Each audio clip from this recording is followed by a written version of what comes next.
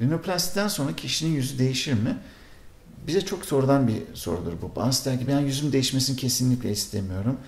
Ben herhangi bir değişiklik istemiyorum. Rinoplasti ameliyatı öncelikle burnu değişir. Ve insan şöyle bir yanılgıya da kapılabilir. E burun değişmiş olacak. Yani yüzün değişmeyecek. Evet doğru yüz değişmiyor. Ama ifade değişiyor. Çünkü aslında daha enerjik, daha olumlu bir ifade kazanılıyor. E, burundaki kırık hatlar, örnek verecek olsak bir belirgin bir kemer, burun ucunun düşüklüğü, burundaki bir tarafa doğru kaymışlık. Bunları düzelttiğimiz zaman kişi aslında daha düzgün bir yüzü ortaya çıkıyor.